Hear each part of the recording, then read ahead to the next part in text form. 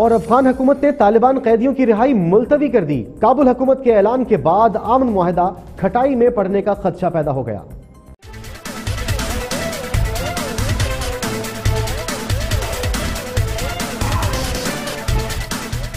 اشرف غنی سرکار نے قیدیوں کے معاملے پر پھر یو ٹرن لے لیا۔ افغان حکومت نے طالبان قیدیوں کی رہائی کا پروگرام ملتوی کر دیا۔ کابل حکومت کے اعلان کے بعد امن معاہدہ کھٹائی میں پڑنے کا خدشہ پیدا ہو گیا۔ ادھر افغان قومی سلامتی آفس کے ترجمان جاوید فیصل کے مطابق فہرست پر نظر ثانی کی وجہ سے طالبان جنگجو قیدیوں کی رہائی میں تاخیر ہو رہی ہے۔ تاہم، طالبان کی جانب سے ابھی تک اس بارے میں کوئی رد عمل سامنے نہیں آیا۔ گزشتہ ماہ امریکہ اور طالبان کے مابین دوحہ میں افغان امن معاہدہ طے پایا تھا۔ جس میں طالبان کی جانب سے اپنے پانچ ہزار جنگجوؤں کی فہرست ایک امریکی مذاکرات کار کے حوالے کر دی گئی تھی، جس کے تحت افغان صدر اشرف غنی نے چودہ مارچ سے ڈیڑھ ہزار طالبان قیدیوں کی رہائی کا اعلان کیا تھا۔